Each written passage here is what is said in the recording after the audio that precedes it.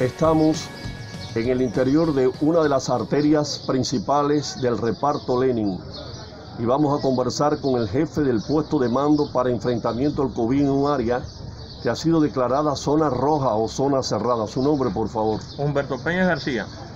¿Cuántas manzanas están controladas en estos momentos? Bueno, estamos hablando de aquí en reparto Lenin, estamos hablando de cuatro manzanas. Las cuatro manzanas em, contemplan la calle 11, calle 13, calle 15, 17 y 18 colindando con eh, toda la Plaza Lenin, los chinos, y eh, al frente colindando también con la carretera central y el punto de referencia, el Caney.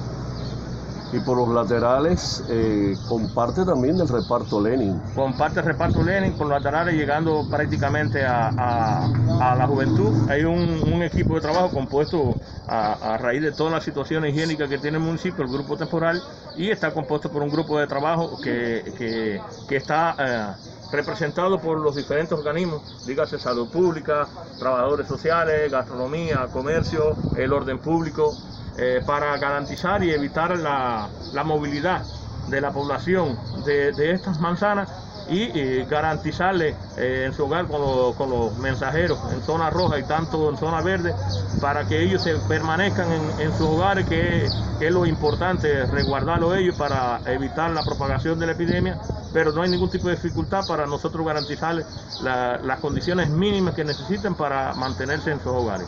Y muchas gracias por esa información. Atención a toda la población de Holguín en esta área eh, se toman medidas especiales para enfrentar la pandemia del COVID.